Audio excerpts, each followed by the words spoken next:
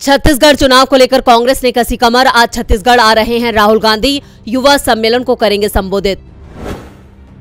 मध्य प्रदेश में सत्ता हासिल करने की कोशिश में कांग्रेस। पार्टी में टिकट के दावेदारों पर आज से शुरू हो जाएगी रायशुमारी।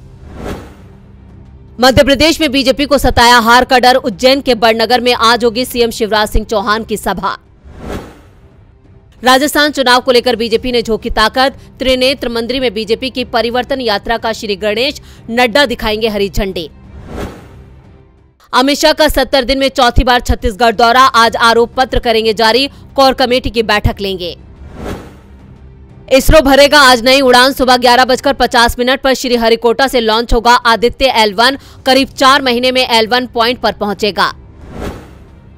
रक्षा मंत्री राजनाथ सिंह आज जाएँगे श्रीलंका।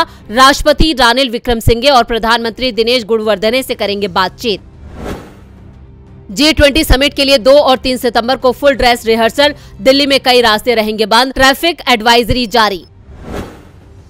आज होगा एशिया कप का महामुकाबला। भारत और पाकिस्तान की टीम होगी आमने सामने। रोहित शर्मा की अगुवाई में उतरेगी टीम इंडिया।